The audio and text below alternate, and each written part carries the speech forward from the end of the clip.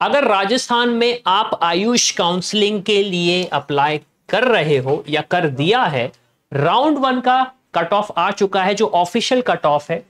हम इस वीडियो में उसका पूरा एनालिसिस जानेंगे और ये एनालिसिस हम इसलिए कर रहे हैं क्योंकि हो सकता है अगर आप सोच रहे हो कि यार मैं राउंड टू में जाऊँ, या फिर अब मेरे पास राजस्थान एक ऑप्शन है या नहीं है क्या ये मैं ऑप्शन कंसीडर कर सकता हूँ आयुष के लिए? तो इस वीडियो में हम वो सारे क्वेश्चंस का आंसर जानने वाले हैं, जो भी आपके हैं। लेकिन अभी कोई ऐसा डाउट है किसी दूसरी स्टेट रिलेटेड तो वो आप हमसे कमेंट सेक्शन में पूछ सकते हो या फिर प्रोफ़ाइल एनालिसिस फॉर्म में पूछ सकते हो। अब सबसे पहली चीज़ कट ऑफ़ काफ़ी लो गया है। सबसे पहला क्वेश्चन ऐसा क्यों हुआ है कि कट ऑफ़ लो गया है? क्यों?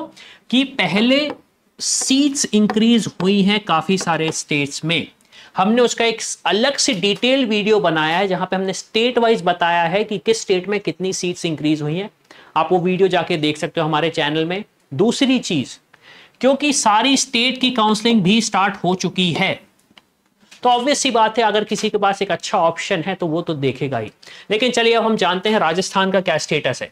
तो बीएमएस का जो राउंड वन कट ऑफ़ आया है हमारे पास, अब यहाँ पे हमने उसको दो कैटेगरी में डिवाइड किया है बॉयज़ एंड गर्ल्स ठीक है? ये हमारी कैटेगरीज हैं और ये हमारी स्टेट रैंक है। हमारी स्टेट में क्या रैंक है? तो अनरिजर्व की जो स्टेट रैंक है, वो 276 गई है बॉयज़ के लिए गर्ल्स के लिए गई है 314 ईडब्ल्यूएस के लिए गई है 352 और गर्ल्स के लिए है 371 ये हमारे मार्क सेक्शन है ऑब्वियसली बात है, मैं सारा चीज़ तो डिस्कस नहीं करूँगा। लेकिन आप देख सकते हो कि यहाँ पे क्या स्टेटस चल रहा है। ओबीसी के लिए रैंक गई है 323 बॉयज़ के लिए गर्ल्स के गर्ल्स के लिए गई है स्टेट रैंक 451 एससी कैटेगरी के लिए गई है 782 और गर्ल्स के लिए गई है 827 और एसटी कैटेगरी के लिए गई है 926 और गर्ल्स के लिए गई है 995 तो ये हमारा जो ऑफिशियल कट ऑफ़ है, ये है राउंड वन बीएमएस का। आप यहाँ पे मार्क्स देख सकते हो और इन मार्क्स के बेसिस पे आप एनालिसिस कर सकते हो कि भाई अगर मैं राउंड टू की तरफ़ जाता हूँ, क्या मुझे अपग्रेड करना चाहिए या नहीं करना चाहिए? ये सारी चीज़ें आपको इसके बेसिस पे समझ में आ जाएँगी बीएमएस कोर्स के लिए। फिर अगर मैं बात करूँ बीएचएमएस कोर्स के लिए राउंड वन का क्या स्टेटस है तो अनरिजर्व कैटेगरी के लिए स्टेट रैंक है 965 बॉयज़ के लिए। गर्ल्स के लिए है एक हज़ार एक सौ बयासी, फिर है E W S sixteen hundred sixty nine और गर्ल्स का यहाँ पे कोई डेटा नहीं है हमारे पास।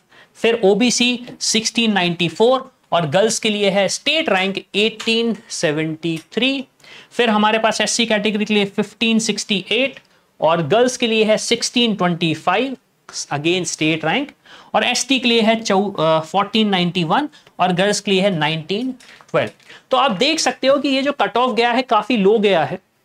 ये कट ऑफ़ काफ़ी लो गया है तो काफ़ी सारे ऐसे स्टूडेंट्स हैं जिनको उम्मीद नहीं हो रही थी कि मैं राजस्थान जाके पढ़ सकता हूँ। या फिर मैं राजस्थान स्टेट का हूँ, मुझे शायद दूसरी स्टेट की काउंसलिंग करनी पड़ेगी, या फिर मुझे ऑल इंडिया की काउंसलिंग करनी पड़ेगी तो उससे आपको घबराना नहीं है। आप देख सकते हो कि जो कट ऑफ़ लो गया है, उसके बेसिस पे आपके पास काफ़ी सारे ऑप्शन ओपन हो चुके हैं। बट अल्टीमेटली अगर अभी भी आपको कंफ्यूजन है कि मेरे लिए सही ऑप्शन क्या रहेगा तो उसके लिए एक मैं बहुत सिंपल सोल्यूशन सोल्यूशन देता हूँ। जाके एक प्रोफ़ाइल एनालिसिस फॉर्म फिल करो आप। वहाँ पे आपका नीट का स्कोर डालो, आपका स्टेट रैंक डालो, और उसमें आपसे क्वेश्चन पूछो कि आप किसकी काउंसलिंग करना चाहते हो, किस कोर्स के लिए काउंसलिंग करना चाहते हो, और क्या गाइडेंस आप हमसे चाहते हो। अब हम फाइनल कोर्स की तरफ़ बढ़ते हैं। तो अल्टीमेटली मैं आपको यह बोलना चाहूँगा कि ये जो हमारे पास जो कट ऑफ़ आया है ये काफ़ी लो गया था I hope you like this video. For more such videos, keep watching our channel and do not forget to like, share and subscribe.